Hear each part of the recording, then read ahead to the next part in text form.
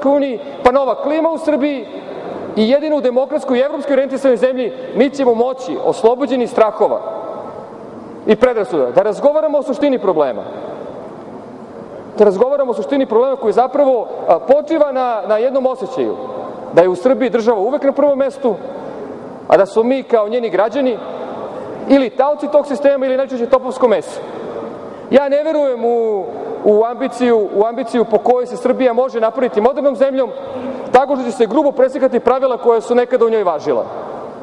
I tu nemamo puno, puno razumevanja za tu konfuziju koja prati rad vladajuće koalicije u ovom ključnom trenutku za budućnost naše zemlje, a pre svega tu mislim na obaveze koje smo kao država preuzeli. Užasno je kompromitovana evropska ideja u našem društvu da bi mi sada na korak od statusa kandidata imali pravo da zbog toga što je nekad Šabac imao svoju lokalnu okružnu, okružnu pružnu infrastrukturu, tako nešto tražimo danas za Vojvodinu, a ako toga nema, onda ćemo srušiti svoju evropsku agendu. I tu, tu postoji razlika između politike LDP-a prema Vojvodini i drugih stranaka vladajuće koalicije pre svega.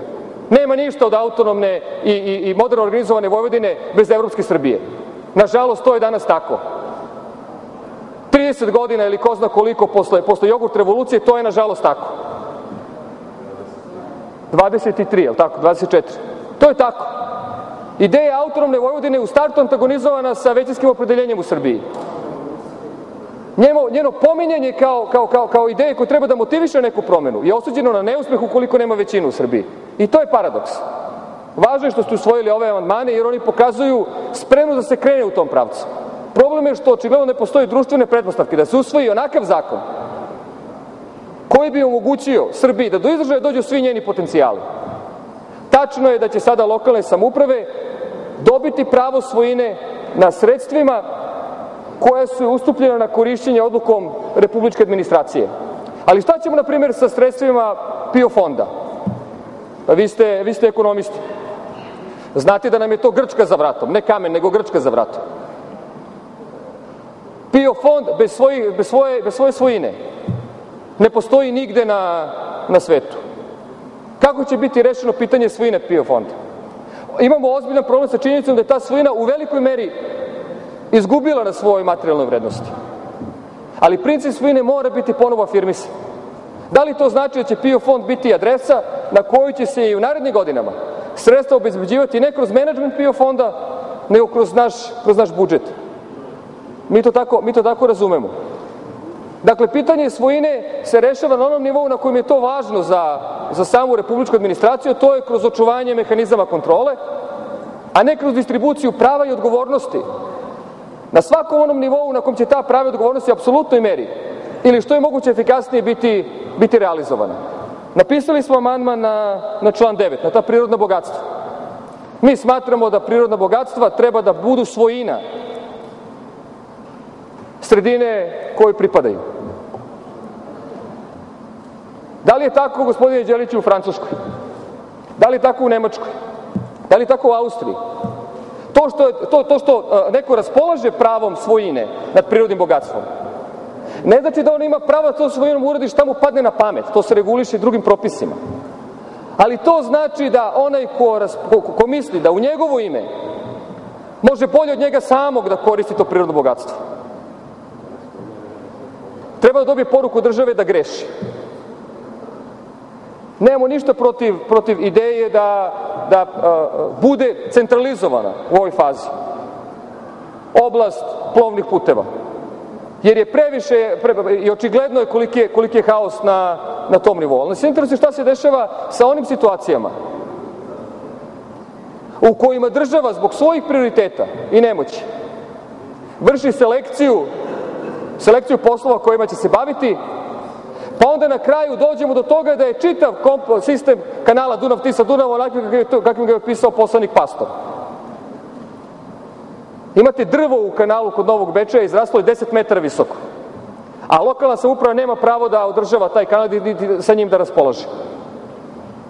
Previše paradoksa. Dakle, treba reći, treba reći su, donosimo zakon koji je u ovom trenutku najznačajniji zbog toga što pravimo jedan korak ka Evropskoj uniji, Imamo većinu ili nemamo većinu, ako većine u vladajućoj koaliciji, ako ne postoji, dobit ćete podršku Liberalno-demokratske partije, ali ne za ovaj zakon, nego pre svega za, za tu priliku koju ne sme Srbija da ispusti, a koja, koja, koja, koja proizilazi iz činjenice da smo na jedan zakon od dobijanja statusa kandidata za članstvo u Evropskoj uniji.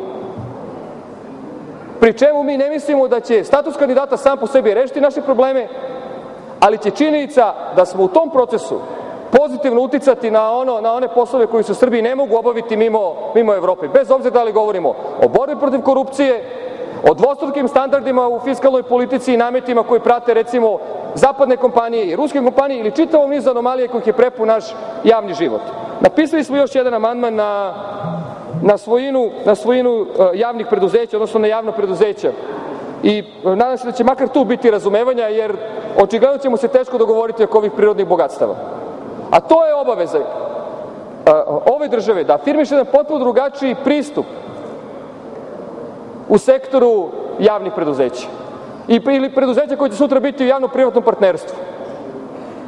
Politika i privatni interesi tu ne smeju da, da budu u onoj meri prisutni koji su prisutni danas.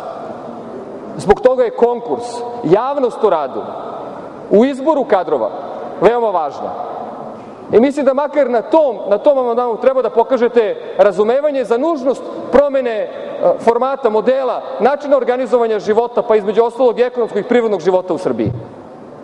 A krupni nesporazumi ostaju na ovom, na ovom drugom planu. Nije isto, ili, ili vi, gospodin Đelić, odgovorite. Da li smatrate da, da, da se sme staviti znak jednakosti između države i republičke vlade? I da se tu stavi tačka? Pošto ovim zakonom, ovim formulacijama to tako, to tako zapravo, zapravo jedino može da se, da se razume. Pitanje e, javne svojine je veoma ozbiljno i u okviru javne svojine mi ne možemo praviti razliku između državne imovine i svojine pokrajine i lokalne samouprave. Valjda su i pokrajina i samouprava elementi države. I to je ono što mi, mi, mi vidimo kao problem, a zapravo je posledica e, nemoći, nesposobnosti, nerazumevanja značaja modernizacije naše, naše države. A ta nemoćna nesposobnost nisu prisutni samo u republičkoj administraciji. Toga ima i u, i u pokrajinskoj. Jer pitanja koja se pokreću ne mogu biti pokretana na takav način što će se sapletati čitavo društvo u situacijama u kojima, u kojima niko od toga ne može da ima nikakvu korist. Ovo treba da bude tema našeg svakodnevnog, svakodnevnog dijaloga u svakom segmentu našeg javnog života. Tako se menja jedna, jedna zemlja. Ono što mislim da isto tako treba, treba otvoreno, otvoreno reći. Ideja da će se ovim stvoriti pretpostavke za dalju demokratizaciju Srbije nije utemeljena u argumentima, gospodine Đeliću. Ni na kakav način. Tačno je da će lokalne samouprave dobiti pravo svojine na određenom imovinom. Ali nad kojom? Samo na onom imovinom kojom je do, kojom je do ovog trenutka ustupljeno na korišćenje. Ali ne i nad onom imovinom kojom su nekada raspolagali, a kojim je oduzeta Miloševićevim propisima polovinom 90. godina, zbog toga što Milošević nije hteo da dozvoli razvoj lokalnih samouprava i pokrajine u kojima se one nalazi na vlasti. I to je osnovna anomalija ovog, ovog zakona. Dakle, postoji vrednostni kontinuitet sa 90. godinama i postoji, to je, to je očigledno, marginalizovanje a, onog što su stvorile svoje vremeno lokalne samuprave i sama, i sama pokrajina. To ne znači da automatski sve ono što je nekada bilo treba i sutra da bude na raspolaganju pokrajine lokalne samuprave.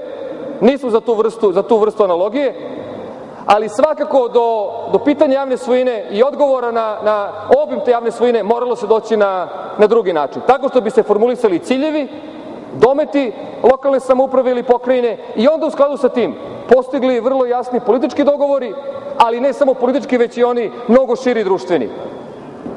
Mi imamo danas e, ozbiljan problem u funkcionisanju našeg društva, situacija u kojoj se nalazimo je vrlo loša i najmanje što Liberalna demokratska partija u ovom trenutku želi je dalje produbljivanje krize.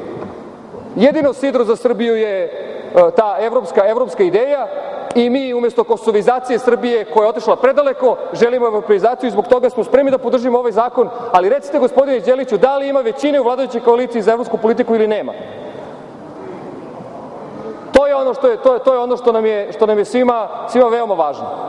Jer nije svejedno da li mi svoje leđe poturamo zbog toga što se tako dobija status kandidata ili postoji svest u vladajućoj koaliciji da neki problemi ne mogu da budu rešeni u ovom mandatu, ali da će pod novom klimom u novim okolnostima oni biti rešeni sutra. Nas to interesuje. Hvala vam. 17 minuta i 30 sekundi iskorišteno od vremena predsednika poslaničke grupe. Narodni poslanik